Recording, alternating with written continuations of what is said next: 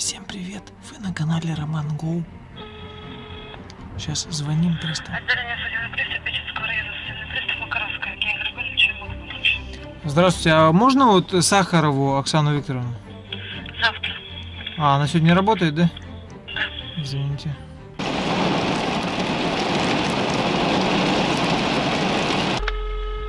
Отделение судебный пристав Печенского района, судебный пристав Макаровская, Евгений Григорьевич, чем могу помочь? Здравствуйте, а можно вот Сахарову Оксану Викторовну?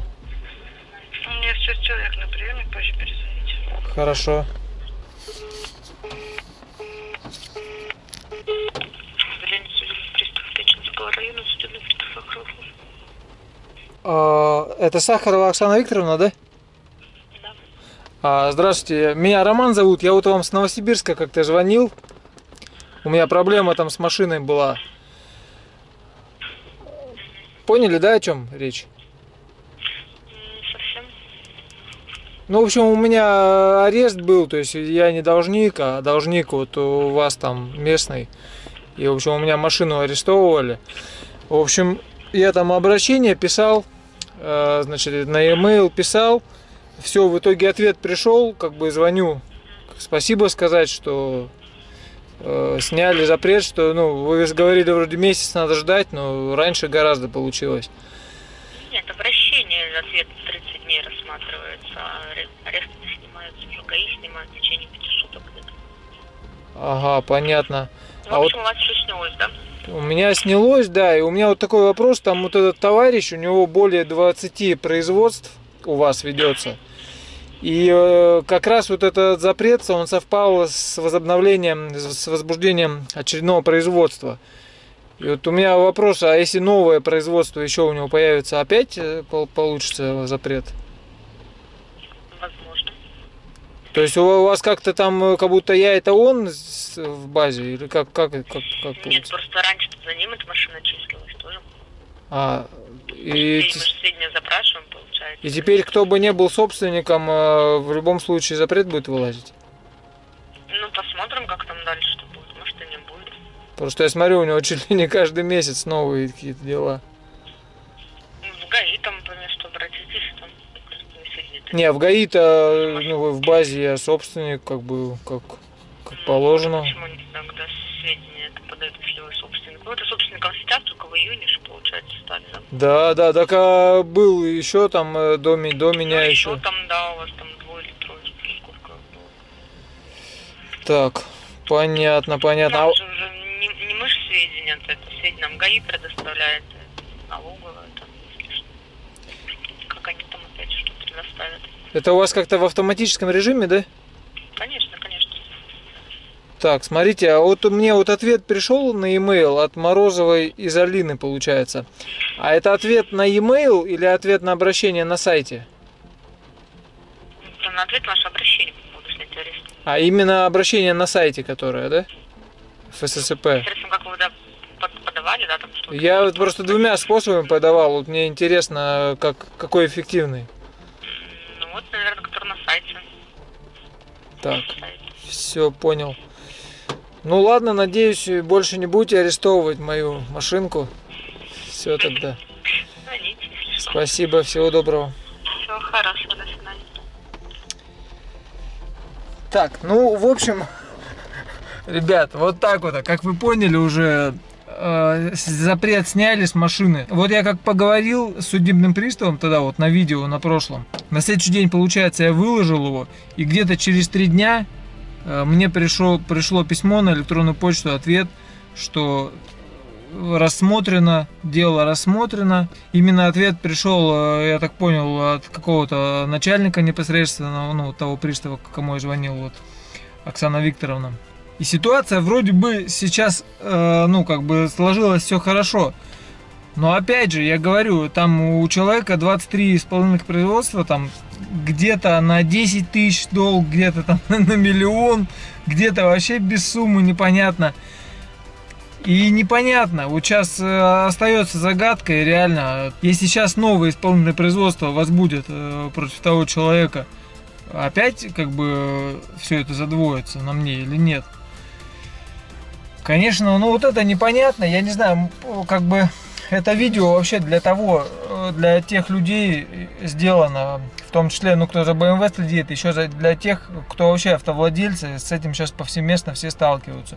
Спасибо большое всем, кто в комментариях в прошлом видосе, мне просто вот здесь все внизу э, было завалено советами. Вот, э, ну, самый действенный, ну, так, э, сразу скажу, подытожить, если. Самый действенный, это пишут, что обращение в прокуратуру также электронным способом можно написать. Но у меня хорошо до этого как бы не дошло. Э, но вот так, насколько я понял, это вот один из самых действенных способов. Плюс обращение на начальника, ну, непосредственно. И еще обращение также можно на сайте сделать в, об, в областное управление или как-то, ну, допустим, конкретно вот за Полярье э, в управление по Мурманской области можно какому-нибудь начальнику написать. Ну, то есть все, вся информация есть сейчас на сайтах, всю эту раскадровку посмотреть и какого-нибудь там самого крупного выбрать и ему, соответственно, написать. Еще есть такой, такой момент на сайте ФССП, то есть если вы оставляете обращение, допустим, у вас какой-то текст вы составили, да, заполняете форму, от кого там, куда, там не работает э, Ctrl-V, то есть вставка текста, к сожалению, там не работает, как-то сделан такой скрипт там специальный, то есть так работает система, то есть не получится, к сожалению, э, просто взять, написать и там всем разослать. Но есть один лайфхак, допустим, в, браузер Google Chrome нужно, значит, нажать, кажется, сначала F12, потом F1, Э, ну я подпишу все на экране, и переключить, собственно, вот этот параметр. То есть мы выключаем эту защиту от Ctrl-V, грубо говоря, вставляем текст нужный и потом, соответственно, включаем обратно эту систему, потому что так без нее сайт не будет работать. Ну, в общем, все это нагуглил, но у меня заняло это некоторое количество времени.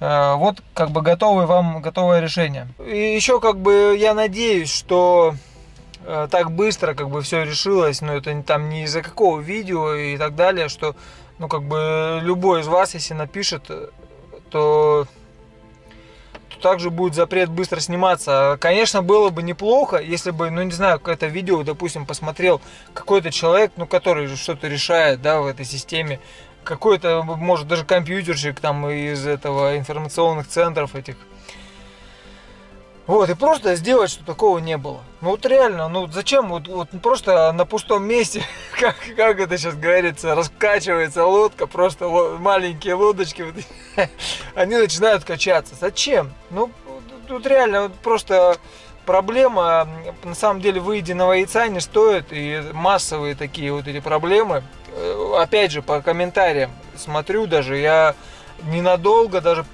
мне показалось, что у меня какой-то оппозиционный канал. Но стоит за этим не коррупция, не алчность и не жадность. Комментарии много гневных было и так далее. Зачем? Это на, на пустом месте на самом деле совершенно не стоит того. Да, еще, ребят, э, очень важная информация, значит, у моего коллеги, блогера э, Миша ММКарс из Нижнего Новгорода случилась беда. У него, ну, самая, наверное, беда большая для блогера, вот именно в этом информационном поле. В общем, у него как-то угнали канал, какой-то вирус поймал, какую-то программу там установил, и все, в общем, канал угнали. А, он пытается его как-то восстановить сейчас. И очень просил поддержать, помочь. Для тех, кто его смотрел, кто его потерял, кто не, не, не может понять, потому что тот канал у него то ли удалили, то ли переименовали, но ролики точно там все поудаляли. Вот, конечно, все это, я так понимаю, можно восстановить, насколько я понимаю, как это работает. Э, хозяин всегда может восстановить канал, но на это нужно время. А Миша не ленится, постоянно выпускает контент. Вот э, у него резервный канал, MMCars проект. В общем, все, кто его потерял, все, кто вообще хочет смотреть про тачки, он покупает тачки, тоже восстанавливает их, перепродает. В общем, автомобильная движуха там по полной программе. Заходите, подписывайтесь, поддержите.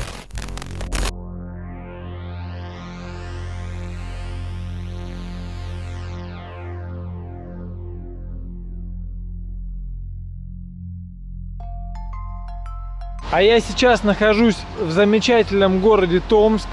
Вот, всем местным респектос лайкос, как говорится, держу краба. Да, я давно мечтал здесь побывать, и вот вырвался на несколько дней, посмотреть, погулять. Здесь, в принципе, уже третий день нахожусь, много где был. Если кто местный хочет увидеться, там чаю попить, пообщаться, пишите, как говорится, цинкуйте в личку.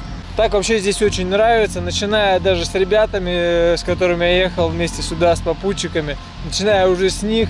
То есть здесь город студентов такой молодежный, хоть я и с преподавателями молодыми ехал. Давно не говорил, но не забывайте, ставьте лайк, э, это всегда очень приятно. И не забывайте подписываться на канал, конечно, чтобы не пропустить новые видосы, новые новости по Бэхе, по Хонде, по движухе в Томске. Надеюсь, что-то получится тут для вас отснять. Всем покеда!